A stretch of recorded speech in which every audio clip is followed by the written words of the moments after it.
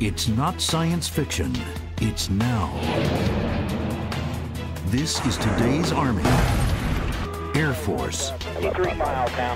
Navy, Marine Corps.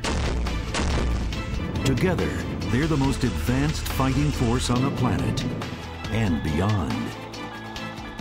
The biggest advantage in combat has always been to be able to see your enemy before he sees you. Today, that means orbiting surveillance satellites capable of reading the license number on a vehicle 500 miles below. Or goggles that can amplify the light of a star thousands of times and turn night into day. Tight formation coming in. It means a pilot sitting in a control room in New Mexico can track down an enemy on the other side of the world and, if necessary, Lock up target five, eliminate them. two, one, impact.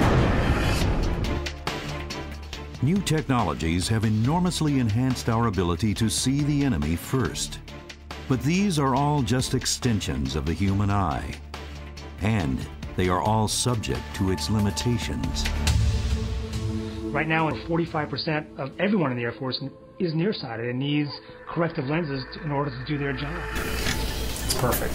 Colonel Charles Reilly is an ophthalmic surgeon and consultant to the Air Force Surgeon General for refractive surgery. We're looking at enhancing the human weapons system. Over the past decade, Dr. Reilly and other military surgeons have been using laser vision correction to enhance the vision of hundreds of thousands of soldiers, sailors, and airmen. Uh, we talk about upgrading our avionics in an airplane so they can see out further, see the bad guys sooner. Well, that's what we're doing with our laser for the human weapon system. The most important weapon system in the cockpit is that human. And so to be able to offer them that upgrade in their avionics is priceless. It really is priceless. It may mean the, the difference between them living or dying in, in their job. It, it's, it's that big. Commander Elizabeth Hofmeister is a Navy flight surgeon. She was involved in some of the original studies that led to the military's approval of laser refractive surgery. In the military, we do not consider LASIK to be a cosmetic procedure at all. It is truly um, a warfighter, almost uh, like a, a gear issue. When we send a soldier off for deployment, that's one of the things that we as commanders have to do. We have to make sure that they are well trained, well equipped. If we can make him better and he is qualified for corrective surgery for his eyes, let's do it. General Frank Helmick is commanding general of the Army's 18th Airborne, the Rapid Deployment Force, and the deputy commanding general of U.S. forces in Iraq. He's had LASIK surgery himself.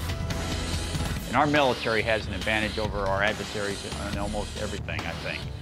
And LASIK surgery is just another indication of that. LASIK was approved by the FDA for refractive surgery in 1998, but it was more than a decade before the procedure was accepted by the military for aviators.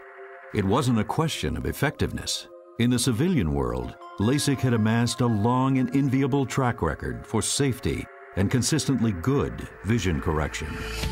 If something performs well in suburban America, that may not perform well in the middle of the heat in Afghanistan, may not perform well at 25,000 feet jumping out of a plane, may not perform well underwater with explosives and concussive effects with the water, which is not necessarily something that's tested very well on the, on the civilian side. Colonel Scott Barnes, an Army ophthalmic surgeon, was intrigued by the potential for the Army's Special Forces. He began testing laser refractive surgery under extreme conditions with soldiers at the Special Operations Command at Fort Bragg. I want to make sure that I know that I've, I've given him the best opportunity, that we, as the Army, have given him the best opportunity.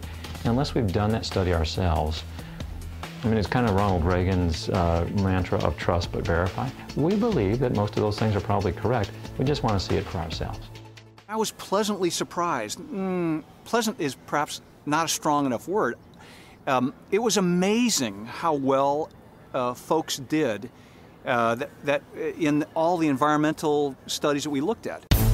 Dr. Steve Schallhorn is considered to be the founder of the military's refractive surgery program. As a former Navy Top Gun pilot, instructor, and ophthalmologist, Schallhorn was in an ideal position to see the potential and the problems.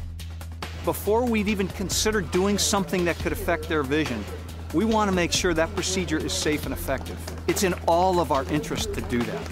And that's why we spent years and years, study after study, looking at how safe and effective this is in the environment that our folks have to go into. He spent nearly 10 years putting laser eye surgery through every test he could come up with. We looked at performance before and after we did laser vision correction. And what did we find? Better performance after laser vision correction. Well, better is a good thing, and that's why I was like, dude, this is pretty darn awesome. And all the studies lined up very similar to that. The results that we've been seeing with our aviation uh, study have been, have been phenomenal. Captain David Tanzer, also a Navy eye surgeon, worked with Schallhorn on a number of studies, concentrating on naval aviators. In 2004, he began testing wavefront analysis, a new diagnostic technology. Wavefront could identify the slightest flaws in the eye's optics and then guide a laser to correct each of those defects. With the addition of wavefront analysis, Captain Tanzer and other military researchers found LASIK could routinely produce supervision well beyond what's considered normal. It's not 2020. It's not even 2016. It's 2012. It's two lines better than 2020. 92% are 2012 or better uncorrected, and 35% are 2010. They max out our eye chart. In 2006, after nearly 14 years of countless studies, tests, and trials, Steve Schallhorn was finally satisfied. Looks good, Paul. Looks real good. On that point, then we said, this is this is good enough for aviators now. We had done the environmental studies. We had obviously in very intense, many studies looking at this quality vision aspect, looking at modern technology, uh, and then we decided it's good enough for aviators. At that point, we started we started LASIK in aviation. That opened the door for LASIK in space. NASA, which until then had banned any type of refractive surgery, approved LASIK for their astronauts. And that represents a real milestone. NASA looked at the safety and effectiveness of LASIK in great detail over the years, and they have deemed it safe and effective for use in their astronauts. We should take great comfort in that, um, in knowing that it has reached that level.